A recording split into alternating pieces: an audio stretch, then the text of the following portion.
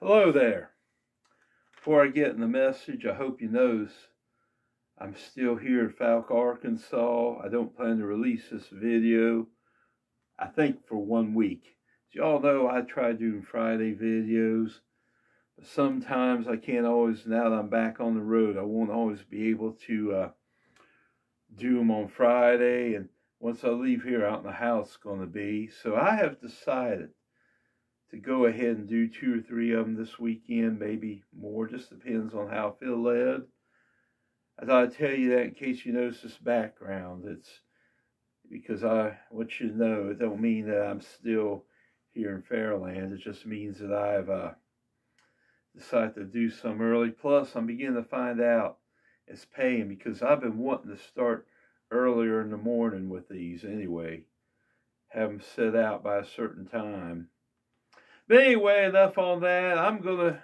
I was just looking through some stuff. I was looking through uh, an old book, which is a scrapbook, a sword scrapbook, and as I was looking through it, I found this article, and when I said it, I said, I know that uh, this should be the message I deal with.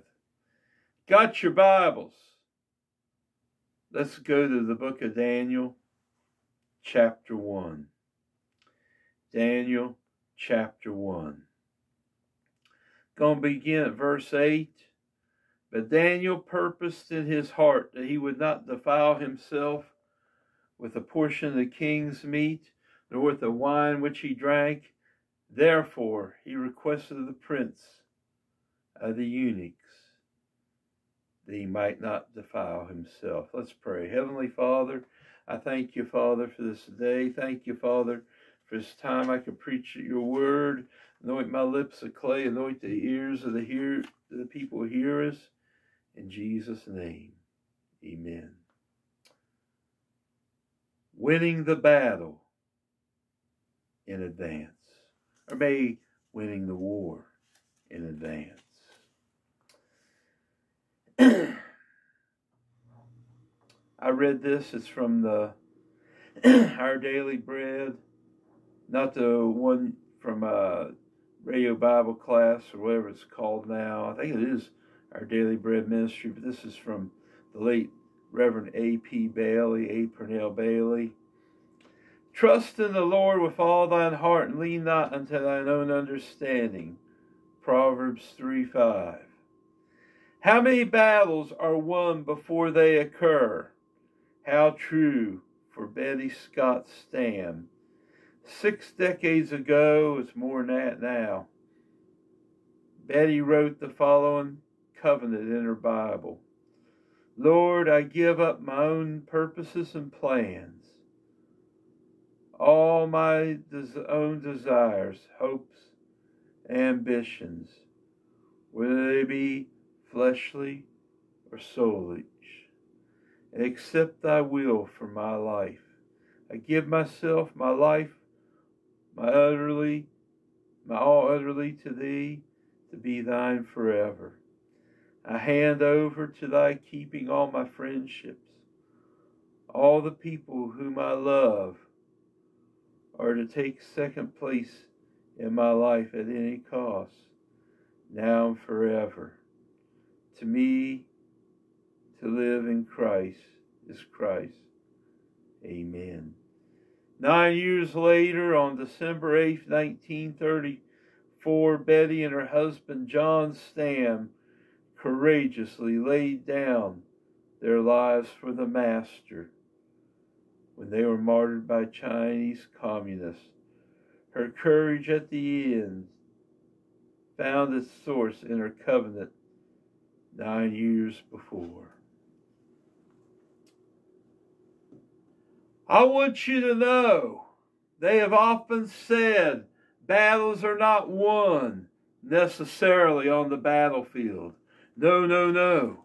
They are won long before we get to the battlefield. They are won long before they get to the battlefield. I'm telling you something this morning. You don't, you know, a lot of times there's going to be planning to go into those battles. Amen. Like when uh, Sergeant, when pardon me, General MacArthur went to war during World War II. It's something they just don't do happenstance. This is something they have had to plan. Sometimes for months. Sometimes I believe even going before MacArthur or Eisenhower, any of them ever became generals. They had to learn a lot of different ways. Amen. It's my understanding it was Sergeant York. you know why they said he was such a courageous soldier? Why he was able to defeat the Germans? Because in the, I hope I got the right state, I think it was Tennessee. If anybody wants to correct me, it's okay. He learned how to shoot squirrel. he became an expert shot. Because of that, when he went to war, he was able to almost, I mean, some ways from the way I understand, almost single handedly defeat so, German soldiers. Amen. He knew he learned to shoot when he was young And he was an expert shot. Not only that, but he was a Christian man. He was one man when the ch- chance when it came down time to be drafted into the military. I forget was it drafted or enlisted. I forget which. It don't matter. He had his conscience bother him. He needed to seek God whether a Christian should go to war or not. He sought God. Based on probably the way I understand, it, based on probably the main verse some people would use against it, it's the one he used to do it. Blessed are the peacemakers. But once again, that his wars, his battles were won long before he ever stepped on the battlefield. And I'll tell you what, that's the same way it is with Christian living. It's time that we really God make it commit our lives wholly to the Lord. Amen. I'm telling you something. I believe it's time that we uh, as Christians realize how important it is to be committed totally to God. First off, we need to learn not to be, we need to commit ourselves to not defile ourselves. As Daniel said in Daniel 1 8, Daniel purposed in his heart he would not defile himself with a portion of the king's meat, nor the wine he, which he drank.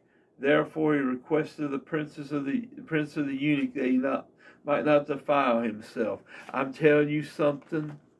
It's time we as Christians commit ourselves not to defile ourselves with the things of this world, the things that are sinful. It's time we make up our mind that we're going to live a clean and a holy life. The Bible says, follow peace with all men and holiness without which no man shall see the Lord.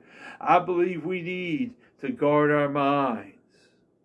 What do you mean? There's some things we shouldn't be watching. There's some things we shouldn't be listening to. Some things we shouldn't be reading. Come on. I believe this morning we need to commit ourselves, not to defile ourselves. We're in one of the most wicked generations I have ever seen. I have heard how wicked it can be now, and you know, I begin to think how much we need to concentrate more on this book right here. This book of the law shall not depart out of thy mouth, but thou shalt meditate therein day and night, that thou mayest fulfill all that is written therein. Then thou shalt make thy way prosperous, and thou shalt have good success. Joshua 1 8. I know at times it can discourage people in our in the in our ranks. But I'll tell you what I have decided. It's time we build our faith up. What do you mean? I don't deny there's going to be battles, But can we be victors? I'll tell you how we can. Keep our faith up. Keep our faith up. Keep our faith up and keep commit ourselves not to defile ourselves with the things of this world. I'm telling you, we need to watch some things. Amen. Some of the company we keep sometimes. You know, she made reference in her commitment about friends she had. You know, there's times in life I've had people who I was friends with turn their backs on me. I hate that. But I can honestly look back now and say, Brother Chip, it was a good thing they did. Even that one case I'm thinking of in particular that happened 10 years ago with a certain guy. At the time I'd been friends with him, I think it was close to 38 or 39 years. He turned his back totally on me. I'm not even worrying about whether I get back him back as a friend or not anymore after all these years. Because you know what? I think I see where why God allowed it to happen. I think I could see why God permitted it to happen. Amen. It may have hurt at the time. I was hoping against hope one of these days that we could be friends again. The only way I can foresee us being friends again is if the man would get born again. But God allowed it. Oh, it hurt. I can even see where it was just as much my fault, if not more, than it was his. But you know what? Sometimes that happens for a reason. And I believe it was for a good reason. I've had other people, friends, turn against me. I don't like it. I don't like it. But sometimes it turned out to be for the best.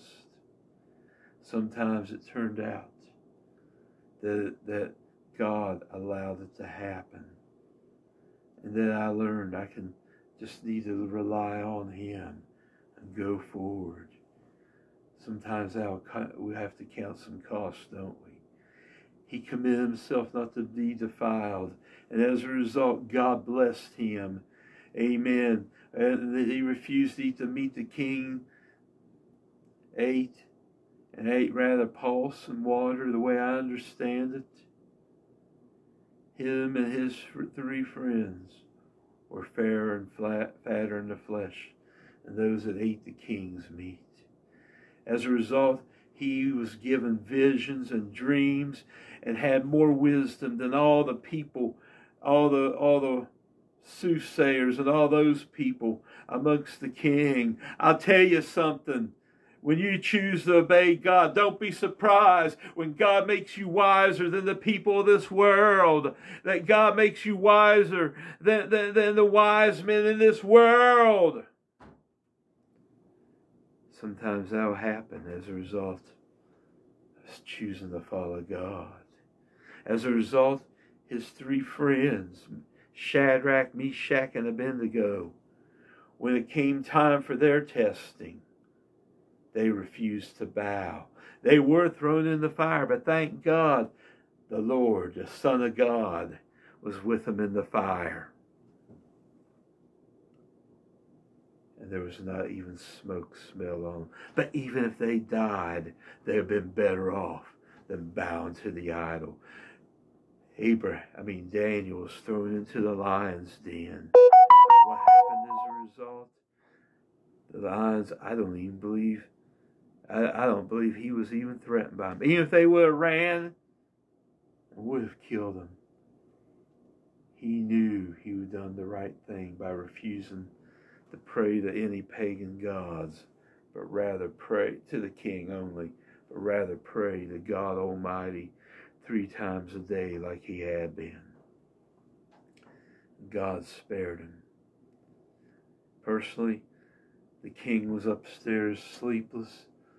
I believe Daniel was downstairs sleeping soundly. Amen. God blessed him for that. But there's some other commitments I believe we need to make. Amen. In Matthew chapter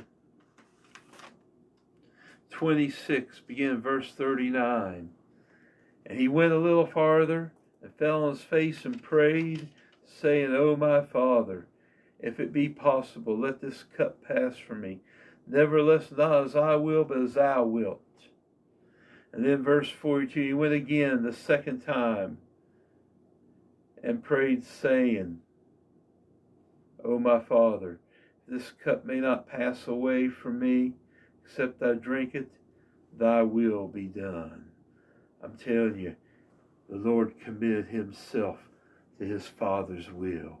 We need to be committed totally to God's will. We may not always like where he leads us, but if we really love him, we'll let him lead us. Amen. I tell you what, sometimes God's will will take us to the places we would sooner not go. He'll take us places that we may not really want to be, but His will is what we want more than anything else. So we need to commit ourselves to the will of God. Amen. Not my will, but thine be done. How many times have I been praying about the ministry? And I've had to say, Lord, not my will, but thine be done. This morning, it's God's will. We need to commit ourselves. And this is similar, but there's still, I see a slight difference. I'll explain. First Peter chapter 2, verse 22 and 23. Who did no sin, neither was guile found in his mouth, who when he was reviled, reviled not again, when he suffered, he threatened not, but committed himself to him that judgeth righteously. I believe we need to commit ourselves to the one that judge righteously. Now, once again, it's still similar to that of total commitment. But I want to tell you something else I believe concerning this. Sometimes people will do us wrong. Sometimes we may face bitter persecution. Does not the Bible say they that live godly in Christ Jesus shall suffer persecution? I believe it's coming on America. I really do. I don't believe, I believe we're going to see worse things happening to the church. I believe they're going to try doing things like having us arrested if we hit certain issues. But this morning, if we're committed to Him that judges righteously, we need not be afraid. What did the Apostle Peter say in chapter Acts chapter 5? We ought to obey God rather than man. And we ought to be committed to the point where we know even if we are suffering for the kingdom of God, we are going to we've committed our cause to him and judgeth righteously. Rather than seeking vengeance upon those who do us wrong, it is so tempting at times. But rather, let's commit ourselves to him that judgeth righteously. That judgeth righteously. Amen judgest righteously. As it said, Vengeance is mine, I will repay, saith the Lord. Thine enemy hunger, give him meat. If he thirst, give him drink. For in doing so thou shalt reap, heap coals of fire upon their head. This morning, that's why we commit ourselves to him that judgeth righteously. No, we shouldn't go around hoping to see something bad happen to our enemies. But I do know we got to commit it to God and realize that He will judge righteously. Amen. one last thing. We need to stay prayed up. Back to Matthew chapter 26. I was going to read it all earlier, but I decided to wait. I'm going to start verse 39. And he went a little farther and fell on his face and prayed, saying, O my Father, if it be possible, let this cup pass from me. Nevertheless, not as I will, but as thou wilt. and he cometh in unto his disciples and findeth them asleep, and saith to Peter, What? Could you not watch with me one hour? Watch and pray, that ye enter not into temptation. The spirit indeed is willing, but the flesh is weak. We know what happened to Peter. He said earlier he was not gonna he was gonna follow him even to death. I believe he was sincere in his commitment. But he didn't have take the opportunity to pray. If anything, I believe he should have been praying, searching his heart. He should have made sure that there was nothing, no hidden sin or hidden motives in his heart. But because he didn't, when the time of testing came, he denied the Lord. Three times. Thank God we know Peter repented.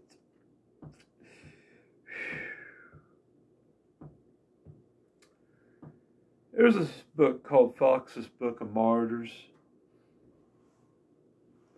There's a story of a man for years. I frowned on him.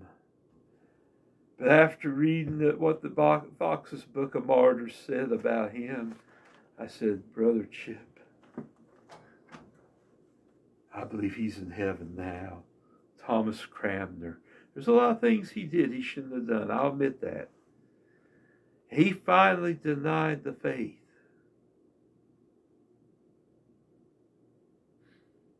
But when he realized that he was going to die anyway,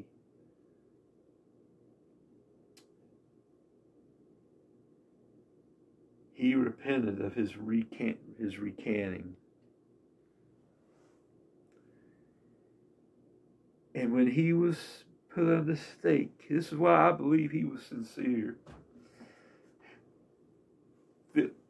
Disagree with me what? When I read that, I couldn't help but think that man shown the sincerity of his heart. How,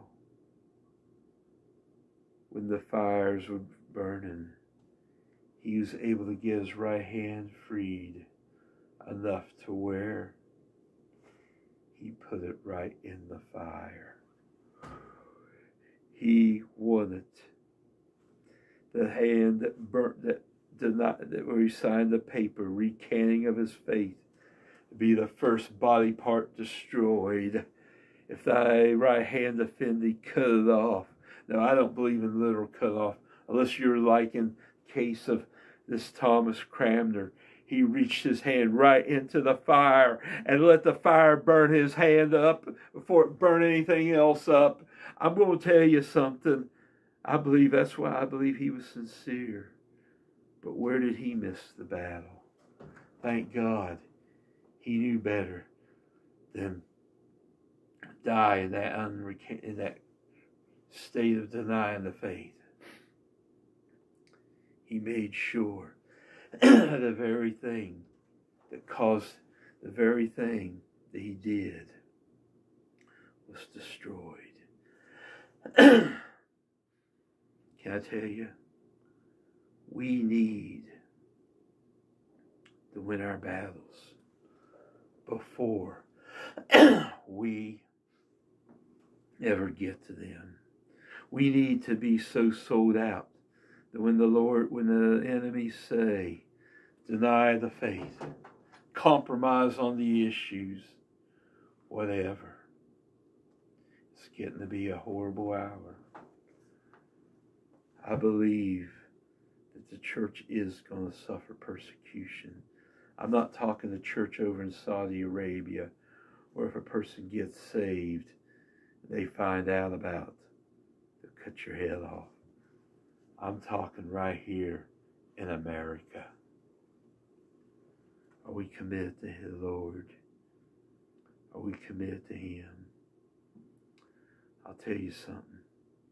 We need to commit ourselves, not to defile ourselves with sin. We need to commit ourselves to do God's will. We need to commit ourselves when, when we're done wrong to give it all to God. Let Him take care of it. I'm learning that pays. It's easier to forgive knowing that God's going to take care of it. And I don't have to do anything. Amen. Other than trust Him to deal with them and get busy serving God. And then we need to stay prayed up at all times. Commitments without prayer is vain. Amen. Let's win the battle before we get there. God bless you.